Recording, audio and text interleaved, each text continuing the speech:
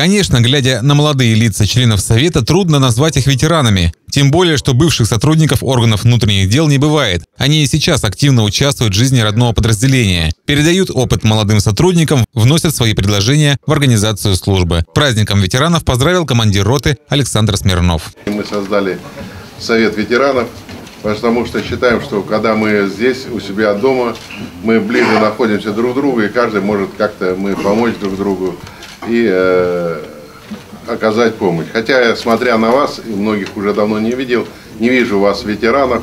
От себя лично я поздравляю всех вас. Желаю вам счастья, здоровья.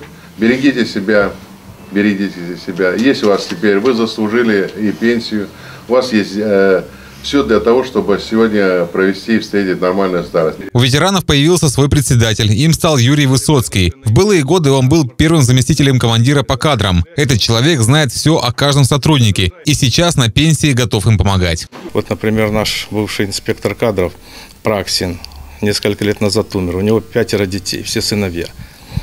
Командование рот, вот особенно Александр Иванович Смирнов, постоянно помогает семье, уделяет внимание, ну и мы теперь будем уделять. Мы созданы совсем недавно, всего несколько месяцев, но уже у нас планы такие, что помогать всем нашим ветеранам. В завершении встречи историческое фото на память, как участники первого и пока единственного на Кубани самостоятельного совета ветеранов органов внутренних дел. Вадим Родин, Анапа регион.